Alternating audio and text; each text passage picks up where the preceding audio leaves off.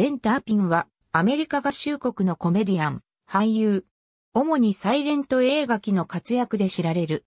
1869年9月19日、アメリカ合衆国ルイジアナ州ニューオーリンズでキャンディ店経営者の息子として生まれる。ターピンは最初の妻で女優のキャリー・ルミューと1907年にシカゴで結婚した。妻キャリーは1923年インフルエンザに罹患し、聴覚を失ってしまった。打ちひしがれたターピンは重病の妻をカナダのケベック州にある重病人の会の逸話が多く伝わることで有名なサンタンヌド・ボープレ大聖堂に連れて行き、妻の会を祈願した。妻の病状が重くなるにつれ、ターピンは妻の介護のため俳優業を休むようになった。キャリーは1925年10月2日に亡くなった。ターピンはカトリック教徒であり、ビバリーヒルズのカトリック教会である前期羊会の教会の会員であるとともに、カトリック映画業組合にも所属していた。ターピンが俳優業を始めたのは、ボードビルやバーレスク、サーカスにおいてであった。ターピンの外見は、小柄で華奢な体格やブラシのような口ひげ、そしてヤブニラミという特徴的なものであった。特に有名なターピンのヤブニラミは、本人の弁によると若い頃にあった事故の影響であるという。ターピンはヤブニラミを自分の喜劇俳優としてのキャリアに欠かせないものと考えていた。彼と働いたことのある数とは、ターピンは頭を叩かれたりした場合、ヤブニラミが治ってしまっていないか心配で鏡を確認したと回想している。ターピンは敬虔なカトリック教徒であったが、ヤブニラミが治ってしまい、生きる術がなくなるよう神に祈るぞ、と同僚たちに脅されることもあった。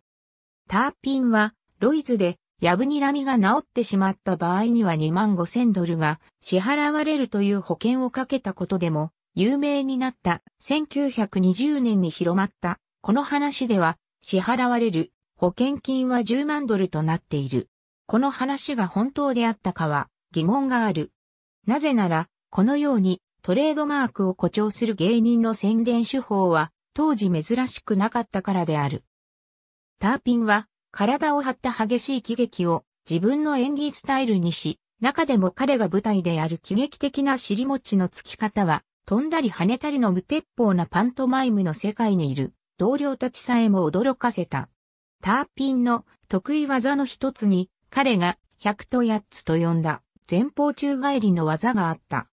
これは何かにつまずいたりして前のめりにこける際、片足を180度真上に蹴り上げて宙返りをし、仰向け、または在の姿勢で着地するというものである。セネット海水に美人の二人とベン・ターピン。ターピンの映画初出演は1907年、シカゴのエッサネースタジオの喜劇映画でのちょい役の出演であった。エッサネースタジオでターピンは俳優としてだけでなく道具方としても働いた。1909年のミスターフリップではターピンは映画史上最初のパイ投げでパイを顔面に受けている。1912年にはターピンはすでに映画雑誌でインタビューを受けたり記事を書いたりするほど人気俳優として認知されていた。チャールズ・チャップリンが1915年にエッサネー、スタジオにやってくると、スタジオはターピンをチャップリンの共演者に選んだ。チャップリンは映画作家として成熟しており、時間をかけて自分の直感を信じて作業するようになっていた。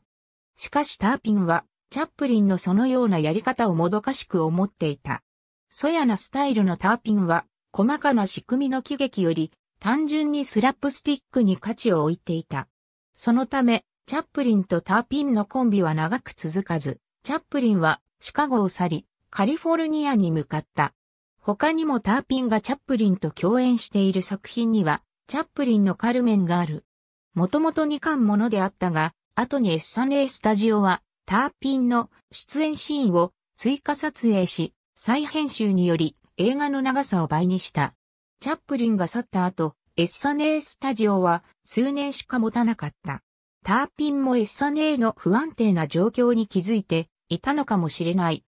ターピンもエッサネーを去って、ボーグコメディカンパニーに移り、そこで一連の二冠もの喜劇の主演を務め、同じくエッサネイスタジオ出身のコメディアン、パディ・マクワイアと共演した。この時期のターピンの喜劇映画の多くは、ターピンの人気が上昇するにつれて、様々な題名を付けられて繰り返し公開された。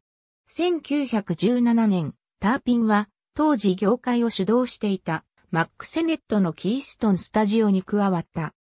ターピンのそやな喜劇のスタイルは、セネットのスタイルに完全に合っていたため、セネット配下の脚本家たちも規定列な要望のターピンを、いかつい甲府や柔和な紳士、よなれた恋人、たくましいカウボーイ、恐れ知らずのスタントマンなどといった役柄の引き立て役として起用し、喜劇的な効果を最大に高めようとした。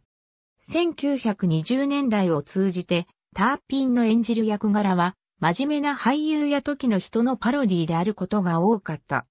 例えば、ルドルフ・バレンティノが演じた、シークをもじった主人公、シュリークをターピンが演じた、笑いオーベンタービンは、ターピンの喜劇の中でも、最も人気を博したものの一つである。セネットの下でターピンが出演した映画には、短編だけでなく、長編も含まれている。自身の成功を喜んだターピンは、私はベン・ターピン。週に3000ドル稼いでいる。を自己紹介の文句にした。アメリカのキャラメル製造会社が1921年に発行したベン・ターピンの宣伝カード。1928年、セネットは新たに広まったトーキー映画に対応するため、自分の抱えるスタッフとの契約の大半を打ち切り、スタジオも再編のため閉鎖した。ターピンは低予算映画を制作していたワイスブラザーズアートクラス社と契約した。ターピンはそこで1年の間に2巻ものの喜劇を制作したが、これらの作品は同社でそれまでに制作された映画の中でも最も野心的なものであろう。同社はターピンの外見の特徴からアイドルアイズやザアイズハブイットといった文句で彼の作品を売り込んだ。1929年には陶器映画の到来により、それまでと違う新しい演技、技術を求められた多くのサイレント映画のスターが将来を不安がるようになり、ターピンは引退することを選んだ。ターピンは稼ぎを不動産へ投資して成功していたため、経済的にそれ以上働く必要がなくなっていたので、ある。映画プロデューサーたちはすぐにギャグの場面に出演させようとターピンを探し出したが、ターピンは一回の出演につき、セリフがあっても一瞬のカメオ出演でも変わらずに、一律1000ドルの出演料を要求した。そのようなカメオ出演の中で、最も記憶されているものに、パラマウント映画配給のすすめオリンピックがある。この時期にターピンが重要な役を演じたもう一つの作品はサイレント映画時代のコメディアンが再集結した二巻ものの短編映画、キーストンホテルである。ターピンの苛立ったような話声は、彼が若い頃に話していたニューオーリンズなまりの特徴が現れている。ターピンの最後の映画出演は1940年、ローレルハーディのサップス・アット・シーであり、彼のやぶにらみの顔がジョークのオチとして使われている。ターピンはこの一瞬の顔の撮影と16語のセリフだけで1000ドルの出演料を手にした。続いて、チャップリンの独裁者での出演も予定されていたが、死去により実現しなかった。ベンターピンが埋葬されている地下聖堂。グレンデールのフォレストローンメモリアルパーク内。1940年7月1日、ターピンは心臓発作により死去し、自身が所属していたビバリーヒルズの善き羊飼いの教会でのミサの後、グレンデールのフォレストローンメモリアルパークに埋葬された。ミサでターピンは立派な教会の会員にして信仰に熱い人と称えられた。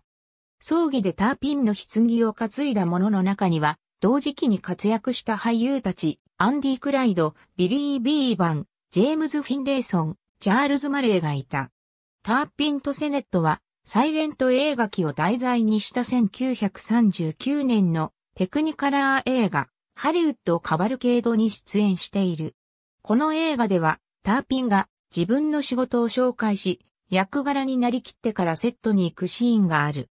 衣装部屋で、ターピンは手鏡を持ち、寄り目になっている右目に合わせるように、全く正常な左目を可能な限り意図的に寄せている。このシーンでは、ターピンは映画のキャラクターとして無理にヤブニラミを作っているようにも見える。1969年の喜劇映画ザ・コミックでは、ミッキー・ルーニーが架空の喜劇俳優コケイ・ファンビューレンを演じており、神聖の写真である設定となっている。この役は、写真以外にターピンと似ている点はないが、明らかにターピンをモデルにしている。ありがとうございます。